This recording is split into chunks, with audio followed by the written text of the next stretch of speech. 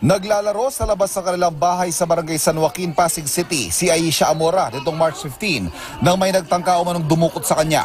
Swerte nakita ng isang kapitbahay ang tangka umanong pagdukot sa bata, kaya napigilan ito. Nahuli ang suspect na si Romualdo Abalahon. Ipinailan natin is uh, alleged abduction dahil uh, nagkaroon naman talaga ng paghawak doon sa bata at uh, attempt na siya ay tangayin. Ako naman, malibis lang po ako, pero di ako gumagawa ng masama. Ayon sa impormasyong kumalat sa komunidad at maging sa social media, nakita umano si Abalahon na nakasakay sa isang kulay green na van na nangunguha umano ng mga bata. Wala talagang nakakita uh, nung actual na van na nakita doon sa lugar. Pero just the same, chinek namin yung plate number at hindi siya nagmamatch doon sa isang uh, van. Nagtanong din kami sa mga kapitbahay ng bata. Pero kayo ho may nagkwento sa inyo na direktang nakakita o direktang biktima na may kumukuha ng bata? Wala po, wala po. Walang ganon. Puro kwento lang sa ngayon.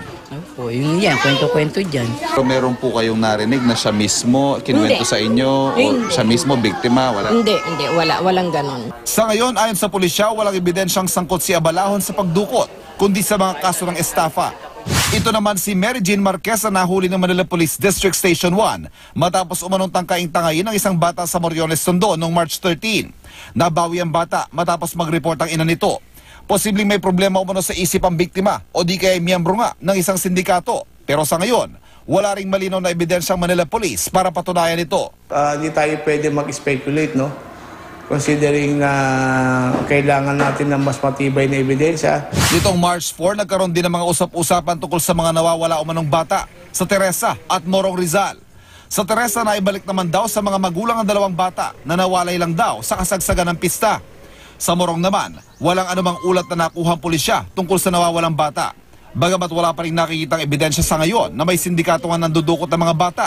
Paalala ng pulisya, I am uh, appealing to the public for their vigilance.